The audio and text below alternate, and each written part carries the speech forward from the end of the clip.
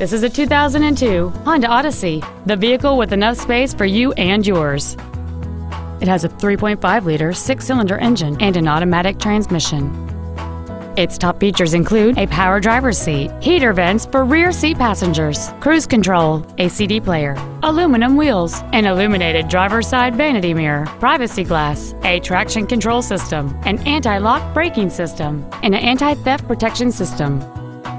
This Honda has had only one owner, and it qualifies for the Carfax buyback guarantee. Call or visit us right now and arrange your test drive today.